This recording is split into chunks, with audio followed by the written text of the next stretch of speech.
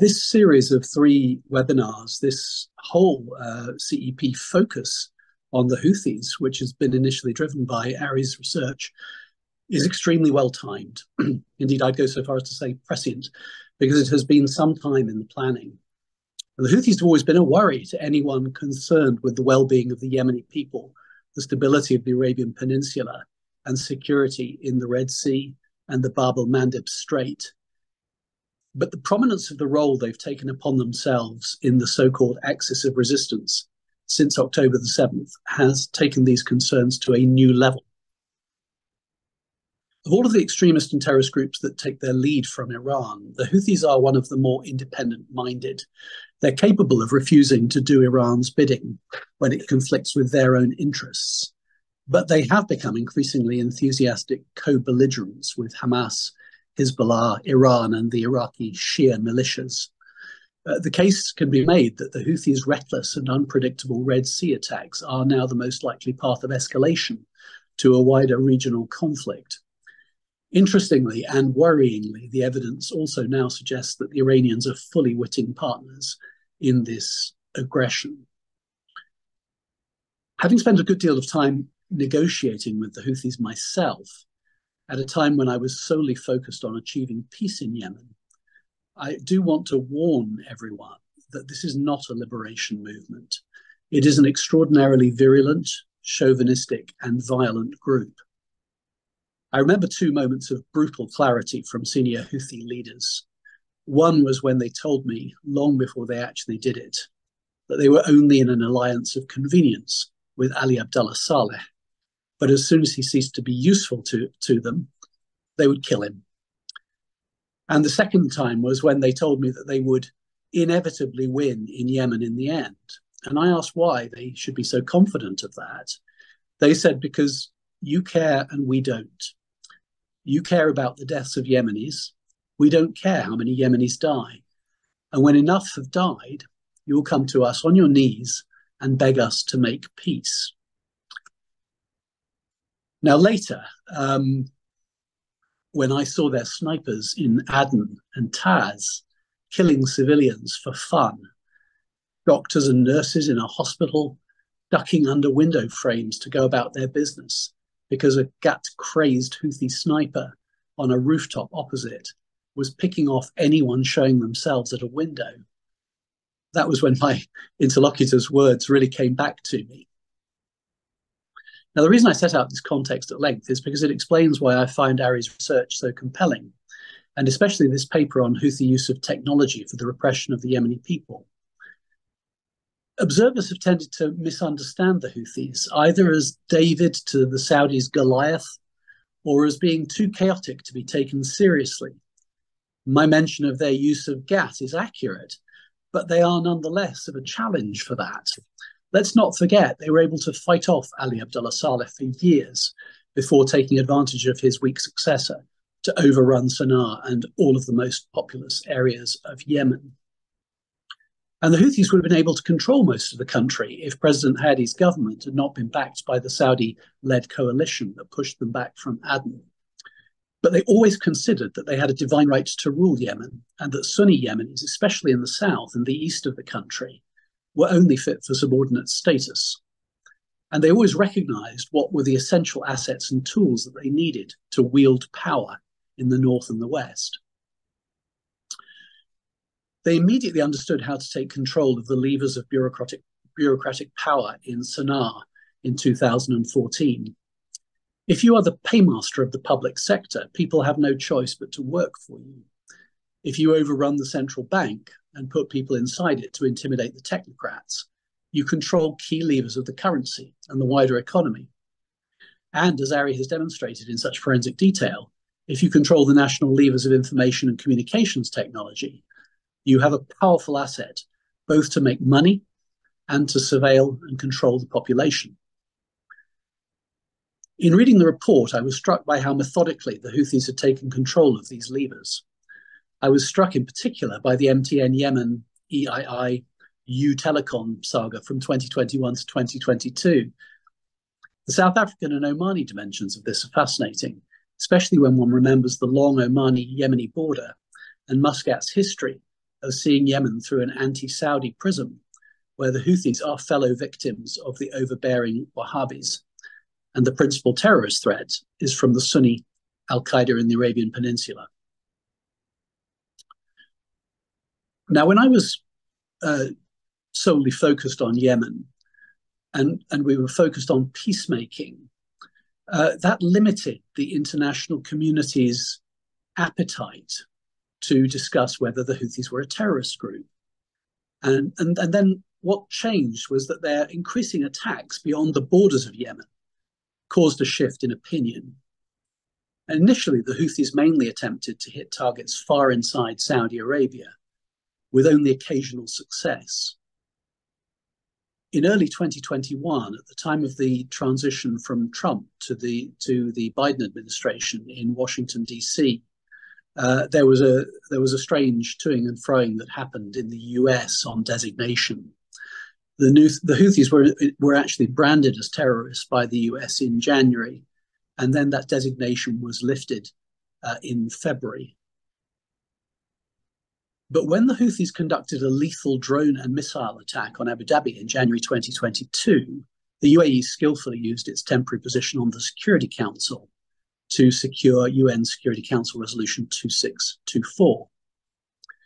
By the terms of 2624, which was adopted by 11 votes in favour, zero against, four abstentions, the 15 member council extended until 28 February 2023 the measures that were first imposed by its resolution 2140 of 2014 relating to the travel ban and asset freeze, as well as the provisions in Resolution 2216 2015 relating to the targeted arms embargo, while noting that these were not intended to have adverse humanitarian consequences for, for Yemeni civilians.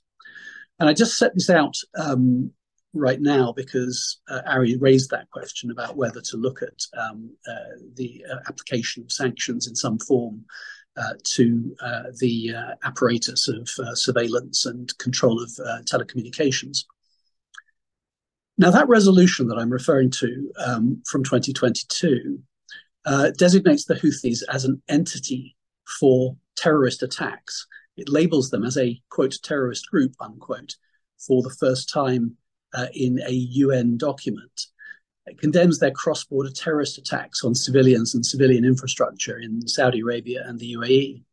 It demands the immediate cessation of those attacks. And the Houthis, as an entity, um, are designated on the Yemen sanctions list under the arms embargo. The reasoning for the designation is interesting an extensive range of uh, violations that they have committed against the Yemeni population and against the international community. And these include attacks on civilians, the use of sexual violence, the recruitment and use of children, the use of landmines, and obstruction of humanitarian assistance. And, and please do note that list. I can't stress too often how vicious the Houthis are and how oppressive of the human rights of Yemenis they are. Also, uh, the resolution mentioned attacks on commercial shipping in the Red Sea, which has particular resonance uh, now in 2024. And uh, it mentioned, of course, those uh, repeated cross border terrorist attacks on civilians and civilian infrastructure in Saudi Arabia and the Emirates.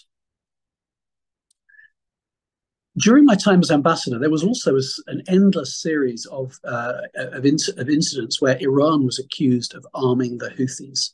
And this was always denied, but it was hard to gain it was and it was hard to gain international consensus on it. But we did have solid evidence that it was true. And there was reciprocity because during the Houthi advance across Yemen uh, in uh, in 2014 2015, we saw them prioritize uh, releasing prisoners of interest to Iran. There's no doubt of the technical and logistical support that the Houthis have enjoyed from both Iran and Lebanese Hezbollah. And I note uh, that in the report, uh, Ari talks about uh, uh, Iran and Hezbollah supporting Houthi technical surveillance. And I'm sure that those reports are accurate. So the question is what happens now? Since October the 7th, we are in a new world. The Houthis have become more reckless, while the tolerance of the US and others for their acts of aggression um, as well as those by Iraqi militias and by Lebanese Hezbollah um, uh, is, is, is being sorely stretched. The Suez Canal, the Red Sea, and the Bab el Mandeb shipping route is vital to the global economy. And it may be that the Houthis' threat to the security of that shipping route will draw a kinetic reaction beyond the limited defensive and deterrent actions that we have seen so far. And certainly uh, from what we've seen said in response to um, the, uh, the, the major attack yesterday that uh, Hans referenced, um, it does sound as if um, there is an increasing sense that, uh, that the deterrent actions taken so far have not been sufficient. Now, Houthi words and actions have always been wild. Um, they're not a government, of course. They are a militia illegally occupying significant parts of Yemen. Besides Sana'a, the central bank, as I mentioned, the telecoms levers that Ari has mentioned, uh, they also hold, hold, the port of Hodeidah and much of the Red Sea coast of Yemen. But it is more striking, and it should raise red flags of alarm, that Iran has publicly arrogated to itself the right to interfere with the safety of international shipping in the Red Sea and more widely, and to oppose any international efforts to secure it. Now, one final uh, fascinating dimension that I will mention um, is that against this backdrop of relentless Houthi and Iranian aggression against international shipping, we now have the UN announcement in late December of a quote significant step unquote towards a ceasefire in Yemen. Um, of course, talks have been going on between the Houthis and Saudi Arabia, who are really the the, the, the, main combatants. We had a civil war in Yemen, but once Saudi Arabia got involved in that, um, uh, much of the discussion has been about whether the Houthis and the Saudis could reach some kind of accommodation. The UN envoy celebrated the supposed progress in late December without making any reference to the Houthi outrages in the Red Sea and the Bab el Mandeb. And this does strike me as interesting. So, you know, are we talking about um, a coincidence here that the Saudi Houthi talks have progressed in such a way that they've moved uh, to a very positive uh, juncture just uh, at this moment, shortly after October the 7th? Uh, or is this a sweetly timed Houthi move to play on the international community's desperate desire for peace in Yemen and to make decisive action against the Houthis and Iran that much more difficult when it could be seen as undermining the prospects of peace in Yemen?